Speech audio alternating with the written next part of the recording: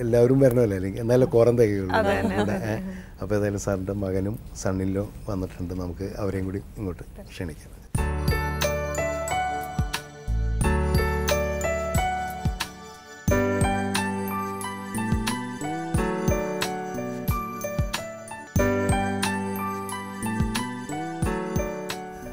സാറിന്റെ മകൻ ചാണ്ടി ഉമ്മൻ. സാറിന്റെ പേര് തിരിച്ചിട്ടതല്ലേ? ഉമ്മൻ ചാണ്ടി എന്നുള്ള തിരിച്ചിട്ട്. എന്റെ സിസ്റ്റം അനുസരിച്ച് ഗ്രാൻഡ് ഫാദറിന്റെ പേര് പേരായിട്ട് വരും. ഫാദറിന്റെ പേര് സെക്കൻഡ് ഇതായിട്ട് വരും. അപ്പോൾ എന്റെ ഗ്രാൻഡ് ഫാദറിന്റെ പേര് ഉമ്മൻ. എന്റെ ഫാദറിന്റെ പേര് ചാണ്ടി ഉമ്മൻ ചാണ്ടി. മോന് വന്നപ്പോൾ മോന്റെ ഗ്രാൻഡ് ഫാദർ ചാണ്ടി. എന്റെ പേര് ഉമ്മൻ. ചാണ്ടി ഉമ്മനായി ചാണ്ടി ഉമ്മനെ. അപ്പോൾ ഇനി തിരിച്ച് ചാണ്ടി അങ്ങനെ മകനുണ്ടാകുമ്പോൾ വീണ്ടും ഉമ്മൻ ചാണ്ടി ആവും. അതിങ്ങനെ റൊട്ടേറ്റ് ചെയ്തുകൊണ്ടിരിക്കില്ല സാർ ഇത് പറഞ്ഞപ്പോഴാണ് ഒരു കഥ പെട്ടെന്ന് ഓർമ്മ വെച്ചപ്പോൾ നമ്മുടെ സുഹൃത്ത് കുഞ്ചാക്കോ ബോവൻ ഉണ്ടല്ലോ. അപ്പോൾ അദ്ദേഹത്തിന്റെ ഫാദറിന്റെ പേര് ബോബൻ കുഞ്ചാക്കോ എന്നായിരുന്നു. അപ്പോൾ അദ്ദേഹത്തിന്റെ അച്ഛന്റെ പേര് കുഞ്ചാക്കോ എന്നുള്ളതാണ്. അപ്പോൾ ഞാനൊരിക്കലും ഇങ്ങനെ ബോബൻ കുഞ്ചാക്കോനെ കണ്ടപ്പോൾ നിങ്ങൾ എന്തിനാണ് കുഞ്ചാക്കോ ബോബൻ എന്ന് പേരിട്ടതെന്ന് ചോദിച്ചപ്പോൾ അദ്ദേഹം പറഞ്ഞത് ഈ മറുപടി അല്ലായിരുന്നു സാർ അദ്ദേഹം പറഞ്ഞത് എന്റെ അപ്പനെ എനിക്ക് എടാന്ന് വിളിക്കാൻ പറ്റില്ല കാരണം കുഞ്ചാക്കോനെ എനിക്ക് എടാ ഇവനെ എനിക്ക് എടാന്ന് വിളിക്കാമല്ലോ കുഞ്ചാക്കോ ബോബനെ എടാ കുഞ്ചാക്കോ എന്ന് വിളിക്കാമല്ലോ എന്ന് പറഞ്ഞു. അപ്പോൾ അങ്ങനെ ചില ഗുണവും ദോഷവും ഉണ്ട് ഇതിന്റെ ഇങ്ങനെ തിരിച്ചിട്ട് എന്നുള്ളൊരു തമാശയായിട്ട്. ഇപ്പം നമ്മൾ നേരത്തെ ചോദിച്ച ഒരു ചോദ്യത്തിന്റെ ഉത്തരവാണ് സാർ. ഇപ്പോൾ ഇപ്പോൾ എന്തായാലും അച്ചു രാഷ്ട്രീയത്തിൽ ഇറങ്ങുന്നില്ല. ചാണ്ടി ഉമ്മൻ രാഷ്ട്രീയത്തിൽ അല്ലേ വരുന്നു. എന്തായാലും ഇപ്പോൾ അവിടെ ഡൽഹിയിൽ പഠിക്കുമ്പോൾ സെന്റ് സ്റ്റീഫൻസ് കോളേജിൽ ചെയർമാനായിരുന്നു അല്ലേ? ഇപ്പോൾ കെ എസ് യുവിന്റെ യൂത്ത് കോൺഗ്രസിന്റെ ഞങ്ങൾക്ക് പൊളിറ്റിക്സ് ഇല്ല. Non political. Non political non പൊളിറ്റിക്കലാണ്. പിന്നെ എൻ എസ് യുവിന്റെ ജനറൽ സെക്രട്ടറി ആയിരുന്നു ഡൽഹി സ്റ്റേറ്റ്.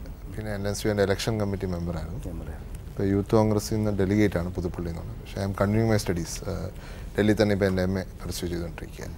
ഇപ്പോൾ സാറിന് എന്താണ് ഇപ്പോൾ ചാണ്ടി കുറിച്ച് എല്ലാവരും ഒരു സങ്കല്പം. ഇപ്പോൾ എന്തായാലും രാഷ്ട്രീയത്തിൽ വന്നു കഴിഞ്ഞിട്ടുണ്ടെങ്കിൽ എന്തായിരിക്കും അദ്ദേഹത്തിന്റെ സ്ഥാനം? അച്ചു രാഷ്ട്രീയത്തിൽ വരുന്ന സമയത്തും ചാണ്ടി വരുന്ന സമയത്തും ഞാൻ പറഞ്ഞിട്ടുണ്ട്.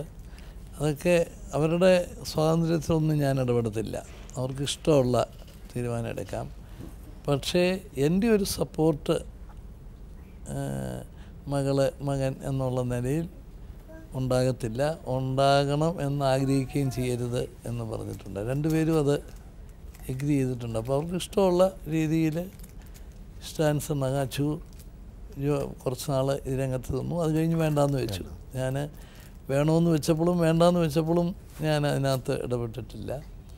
ഇപ്പം ചാണ്ടി ഇതിനകത്തൊക്കെ പ്രവർത്തിക്കുന്നു. അപ്പം എന്റെ ഒരു പേറ്റണേജ് ഉണ്ടാവില്ല.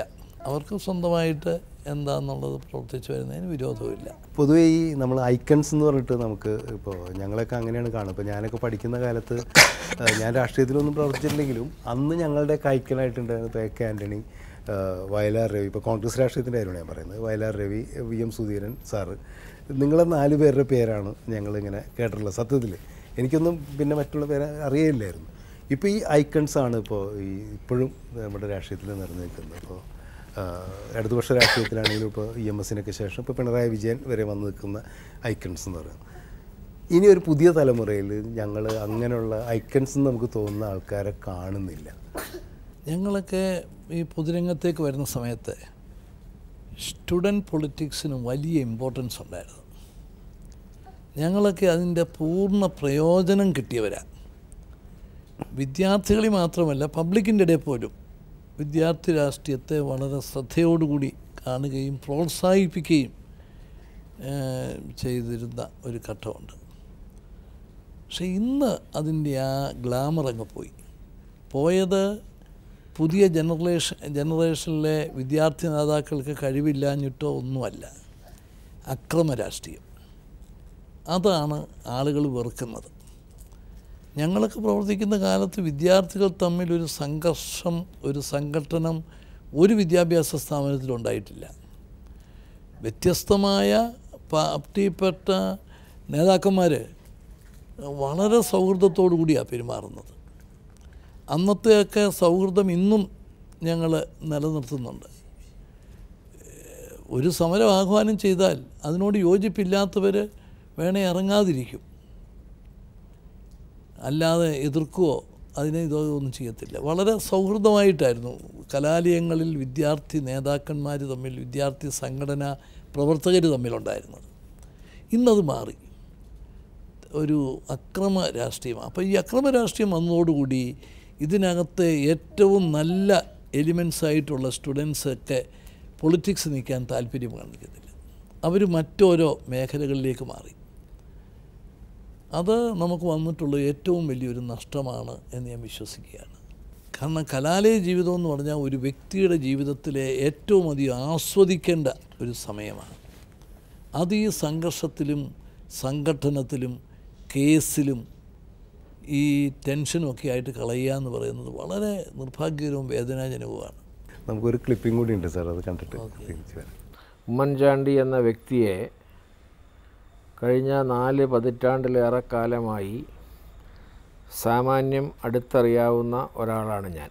ഉമ്മൻചാണ്ടിക്ക് ഇപ്പോൾ കൈവന്നിരിക്കുന്ന സൗഭാഗ്യം എന്ന് ഞാൻ കരുതുന്നത് പല മുൻഗാമികളുടെയും നന്മകൾ ഏകത്ര തന്നിൽ സംയോജിപ്പിക്കുന്നതായി പൊതുജനങ്ങളെ ബോധ്യപ്പെടുത്താൻ അദ്ദേഹത്തിന് കഴിഞ്ഞിരിക്കുന്നു. ഇന്ന് മുഖ്യമന്ത്രിയെ മാത്രമേ കാണുന്നുള്ളൂ മറ്റു മന്ത്രിമാരെ കാണുന്നില്ല എന്ന്. അതൊരു അർത്ഥസത്യം മാത്രമാണ്. മുഖ്യമന്ത്രിക്ക് കൂടുതൽ ദർശനീയത വിസിബിലിറ്റി ഉണ്ട് എന്നുള്ളത് ശരിയാണ്. പക്ഷേ അത് അദ്ദേഹം മനഃപൂർവം മറ്റു മന്ത്രിമാരെ ചെറുതാക്കാൻ ശ്രമിക്കുന്നത് കൊണ്ടല്ല. കുഞ്ഞാലിക്കുട്ടിയെയും കെ എം മാണിയെയും പോലെയുള്ള പ്രഗത്ഭമതികളായ ആളുകൾ ക്യാബിനറ്റിലുണ്ടായെങ്കിൽ പോലും ആര്യാടനെ പോലെയുള്ള ആളുകൾ സ്വന്തം മന്ത്രിസഭയിൽ തന്നെ ഉണ്ടെങ്കിൽ പോലും ഇത് ഉമ്മൻചാണ്ടിയുടെ സർക്കാരാണ് എന്ന് ജനങ്ങൾക്ക് തോന്നുന്നത് അവരുടെ കൂടെ സഹകരണം ഉറപ്പുവരുത്താൻ ഉമ്മൻചാണ്ടി കഴിഞ്ഞതുകൊണ്ടാണ്. ഈ രണ്ട് വോട്ടിന്റെ ബലത്തിൽ നിൽക്കുന്ന ഒരു മുഖ്യമന്ത്രിയായിട്ടല്ല കേരളം മുഴുവന്റെയും ജീവനുള്ള മുഖ്യമന്ത്രിയായിട്ടാണ് ഉമ്മൻചാണ്ടി കാണപ്പെടുന്നത്. അദ്ദേഹത്തിന് സർവശക്തൻ ആയുസ്സും ആരോഗ്യവും വിവേകവും നൽകട്ടെ എന്ന് ഞാൻ പ്രാർത്ഥിക്കുന്നു. അദ്ദേഹം ഈ കാലയളവ് പൂർത്തിയാക്കുന്നതോടുകൂടെ കേരളത്തിന്റെ വികസന ചരിത്രത്തിൽ ഒരു പുതിയ അധ്യായം എഴുതപ്പെടുമെന്ന് വിചാരിക്കുന്നു. അച്യുതമേനോന്റെ പിൻഗാമിയായിട്ടാണ് ഞാൻ ഈ കാര്യത്തിൽ ഉമ്മൻചാണ്ടിയെ കാണുന്നത്. നന്മ വരട്ടെ എന്നല്ലാതെ എനിക്കൊന്നും പറയാനില്ല. ഇപ്പോൾ ഒരു തമാശക്ക് പറയുമ്പോൾ നമ്മളൊരു പ്രയോഗം തന്നെയാണ് ഇപ്പോൾ സിനിമയിൽ കയറുക അല്ലെങ്കിൽ ഉദ്യോഗത്തിൽ കയറുക എന്ന് പറയാം. പക്ഷേ രാഷ്ട്രീയത്തിൽ ഇറങ്ങാമെന്ന് പറയാം. അപ്പോൾ രാഷ്ട്രീയത്തിൽ ഇറങ്ങുന്നത് എന്തോ ഒരു കുഴപ്പമായിട്ടാണ് പൊതുവെ ആൾക്കാർ കാണുന്നത്. അല്ല? മറ്റെല്ലാതും എന്ന് നമ്മൾ പറയും. ഞങ്ങളൊക്കെ സിനിമക്കാരാന്നല്ലേ പറയും. അപ്പോൾ അങ്ങനെ ഒരു പൊതുവെ ഒരു രാഷ്ട്രീയത്തിനെ കുറിച്ചൊരു മോശം ഇമേജ് ഉള്ള ഒരു സമയത്ത് ശ്രീ ചാണ്ടി ഉമ്മൻ ഈ രാഷ്ട്രീയ രംഗത്തേക്ക് വന്നു കഴിഞ്ഞിട്ടുണ്ടെങ്കിൽ ആ ഇമേജ് മാറ്റാൻ തീർച്ചയായിട്ടും പുതിയ തലമുറ എന്നുള്ള രീതിയിലും പ്രത്യേകിച്ചും മുഖ്യമന്ത്രിയുടെ മകൻ അതല്ലെങ്കിൽ ഒരു ക്ലീൻ ഇമേജ് ഉള്ള രാഷ്ട്രീയ നേതാവിന്റെ മകൻ എന്നുള്ള രീതിയിൽ ഒരു ഉത്തരവാദിത്വമില്ലേ പക്ഷേ പക്ഷേ ഇപ്പം തന്നെ youth Congress N S U ആയും. ഒത്തിരിയേറെ ശ്രമങ്ങൾ പൊളിറ്റിക്സ് ക്ലീൻ ക്ലീൻ ആക്കാൻ നടത്തിക്കൊണ്ടിരിക്കുക ഇപ്പം രാഹുൽ ഗാന്ധി ഞങ്ങളുടെ ഇൻചാർജായി വന്നതിന് ശേഷം N S U youth Congress ഇന്ന് തിരഞ്ഞെടുപ്പ് നടക്കുക. ആർക്ക് വേണേൽ മെമ്പറാവും? ഏതൊരു വ്യക്തിക്ക് വേണേൽ മെമ്പർഷിപ്പ് എടുക്കാം. പക്ഷേ മെമ്പർഷിപ്പ് എടുത്ത് മത്സരിക്കണമെങ്കിൽ ക്ലീൻ ഇമേജ് ഉണ്ടായിരിക്കണം. അല്ലെങ്കിൽ ഒരു ഒരു ക്രിമിനൽ ട്രാക്ക് റെക്കോർഡ് ഉണ്ടാകാൻ പാടില്ല. അങ്ങനെ ക്ലീൻ ആയിട്ടൊരു പൊളിറ്റിക്സ് ഇന്ന് എൻ എസ് യുയും യൂത്ത് കോൺഗ്രസും അല്ലെങ്കിൽ കെ എസ് യു യൂത്ത് കോൺഗ്രസും ഇന്ന് എൻകറേജ് ചെയ്യുന്നുണ്ട് കേരളത്തിൽ. തീർച്ചയായിട്ടും ആ ഒരു തരത്തിലേക്ക് ശ്രമങ്ങൾ നടക്കുന്നുണ്ട്. മാത്രമല്ല കേരളത്തിൽ അത്രയും ഒരു ക്രിമിനൽ പൊളിറ്റിക്സ് ഉണ്ടെന്ന് തോന്നുന്നില്ല. കേരളത്തിലെ പൊളിറ്റിക്സ് ബാക്കിയുള്ള സ്റ്റേറ്റ്സുമായിട്ട് വെച്ച് കമ്പയർ ചെയ്യുമ്പോൾ വളരെ പോസിറ്റീവായിട്ടൊരു പൊളിറ്റിക്സ് ഉണ്ട്. പക്ഷേ ഈ പറഞ്ഞ പോലെ സ്റ്റുഡന്റ് പൊളിറ്റിക്സ് രംഗത്ത് കോളേജുകളിൽ അക്രമം നടക്കും അതും കൂടെ അവസാനിപ്പിക്കാൻ നമുക്ക് സാധിക്കുവാണെങ്കിൽ തീർച്ചയായിട്ടും വളരെ നല്ലൊരു പൊളിറ്റിക്കൽ അറ്റ്മോസ്ഫിയർ നമ്മുടെ ക്യാമ്പസുകളിൽ നമുക്ക് ഉണ്ടാക്കാൻ സാധിക്കും.